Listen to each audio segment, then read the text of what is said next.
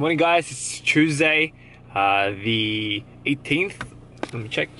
Now I always forget the dates. Tuesday, the 18th of July. What's going on, guys? Gonna take, gonna take you through a full day what I get up to. Today's a PT and coach.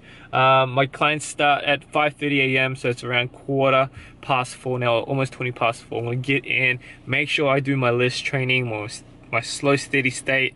I got about less than two weeks before I um, head out to the States so uh, for my summer vacation. So I'm just gonna get some cardio in before I go a whole day. Gonna do a meetup um, with Tiffany again. So I'm gonna hopefully record some content as well as trying out this cold tub that we got at work. It's really, really awesome. Gonna give that a go post workout. So stay tuned for that in the next vlogs. I don't know if I'll put it in this vlog today, but we'll see. Uh, and that's pretty much my day. Let's get the day started.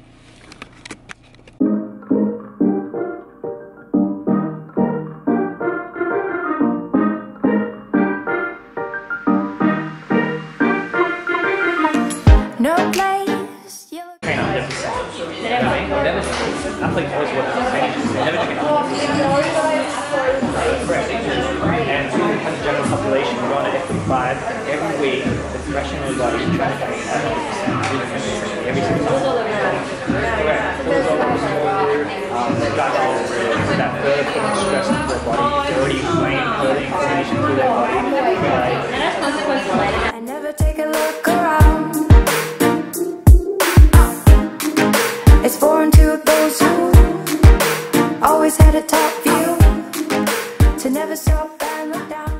Hey, what's up, guys? Another commentary over my workout video today. With only two weeks to go until I leave, until the States, um, I'm currently running a new training program. It's called the 5512 program, where essentially you're doing a tri-set, and your first two exercises are working based on strength, and then your last um, set is based on more hypertrophy. So the first workout we're going to go through is legs, and as you can see, I'm doing um, squats, five reps on that, and I'm doing split squats next. Split squats are amazing, um, both for working your hips if you've got tight hips, and also working through that VMO. Okay, and that's going to help carry over through working towards um, improving your squats. And to finish, just doing some conditioning exercises with the leg press, doing unilateral work because unilateral work's really really good for um, building and isolating each individual leg strength. So once that's done, we rest and repeat for another four sets total. And that is the first part. The second part of the workout is going to work more onto the legs again, um, but we're going to focus more on the uh, hips, uh, sorry, the hamstrings.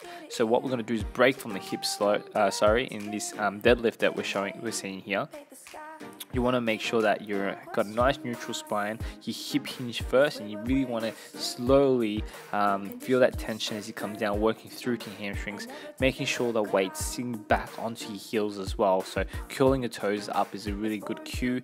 And with this one, I'm simply doing the leg uh, hamstring curls. And the next exercise, again, working pretty heavy on that five repetitions uh, to make it harder you can adjust your feet angles as well.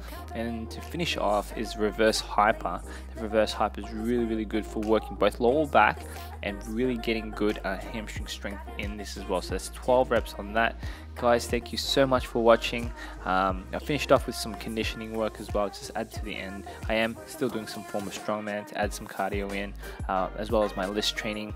And that's it guys. Thank you so much. Check out my other videos over here as well. Be sure to click uh, the subscribe button and uh, stay tuned for other videos. I'll catch you soon. Bye bye